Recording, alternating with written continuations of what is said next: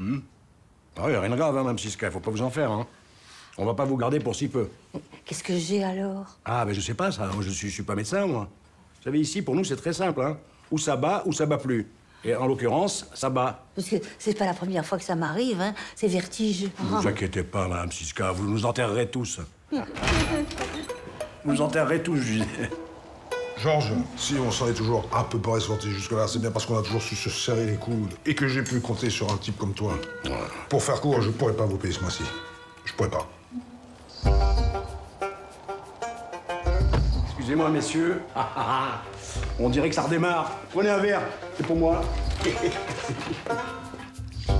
Georges, je te présente Madame Bartolo qui vient de perdre son mari. Toutes mes condoléances, madame.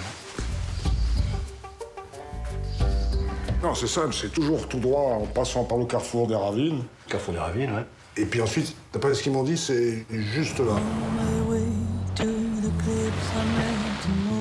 C'est encore loin Ouais, je pensais que c'était plus près. Ils sont plus derrière nous, là. Comment ça S'ils veulent pas nous suivre, tant mieux pour eux. Mais Georges, ils nous suivaient. Ils ont dû changer d'avis, euh, qu'est-ce que je te dis Euh, une heure de retard. On n'a jamais vu ça. Hein Une heure de retard, on n'a jamais vu ça. Ah, jamais. Quoi? Ah, je crois qu'on a touché le fond, là.